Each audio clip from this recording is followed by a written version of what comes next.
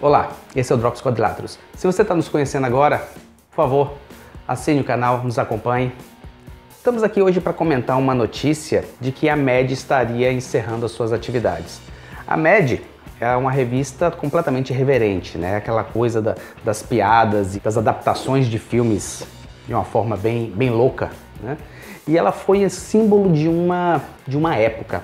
A MED chegou a, a, ao início da publicação nos Estados Unidos depois que uh, começou o Código de Ética nos quadrinhos. Houve uma perseguição sobre alguns pontos ou sobre algumas histórias, uh, algumas formas de contar histórias que estariam desvirtuando a juventude americana e as próprias editoras passaram a adotar um código de ética uh, limitando a sua atuação. Na verdade, o código de ética foi responsável por uma massificação de algo raso nas principalmente de super-heróis, e quase matou completamente o estilo de histórias de super-herói. Né? Somente na década de 60 houve um revival com o início da Era de Prata, e a gente até já tratou isso em outros vídeos. Mas a Mad eh, ela foi inventada logo depois do início desse código de ética, e era uma revista que não tinha o código de ética. Ela era irreverente, ela brincava com qualquer coisa, ela falava de qualquer coisa e tinha grandes nomes desenhando na MED. Hollywood, você tinha uh, Sérgio Aragonés, ele começou na MED, você tinha muita gente boa e muita gente uh, sagaz fazendo histórias e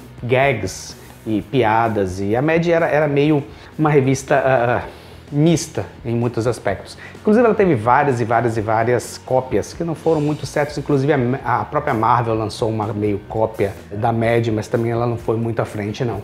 Mas a Mad ela estaria fechando as portas das edições, né?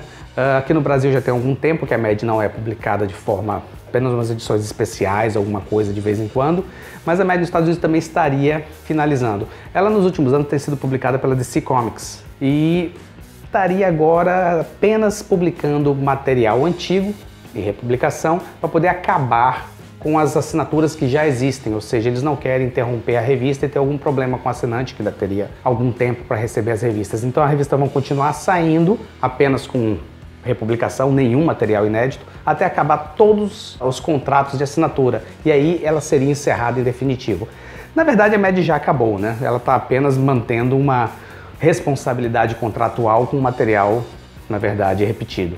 É uma pena, por um lado, mas na verdade a MED perdeu muito da sua capacidade de ser atual. Né? Eu acho que de repente ela foi muito um símbolo de uma época em que vai deixar saudade para muita gente, mas ela já não estava mais naquele ritmo tão uh, interessante e irreverente que ela tinha alguns anos atrás. Bem, esse foi o Drops Quadriláteros.